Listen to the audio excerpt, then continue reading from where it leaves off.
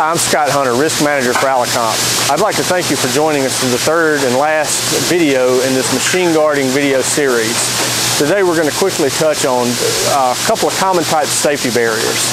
Uh, the two most common types that we're going to talk about that we see uh, as we're doing site visits with customers are light barriers and uh, interlocks.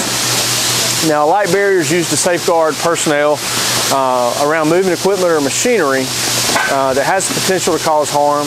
Uh, some examples of this are going to be presses and palletizers.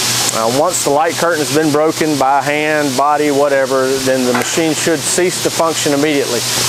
One thing to check for when you're doing your daily inspections of your light curtains is when that light curtain's broken, you want to make sure that that machine's not finishing through its cycle or, or, or, cycling through the repetition that it's in. You want to make sure that it ceases to function as soon as the barrier is broken. Uh, the second device that we're going to touch on is going to be interlocks. Uh, interlocks prevent hazardous machines from operating uh, under certain specified conditions, typically when uh, uh the guard's not closed.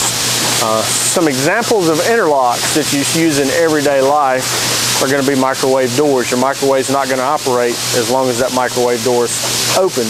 So once it's closed, the interlock activates and you're able to start your microwave.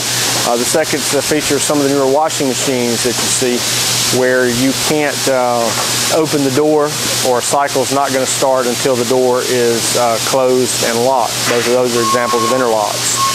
Uh, now, it's the best practice to make sure that you're checking all of your safety devices uh, daily at the start of each shift. They should be part of your startup process. Uh, make sure that you have a, uh, a safety feature in your daily inspections uh, check and make sure that those light curtains, interlocks, any other safety guards, safety barriers are, in their proper place and, and fu functioning properly before putting that machine into use each day.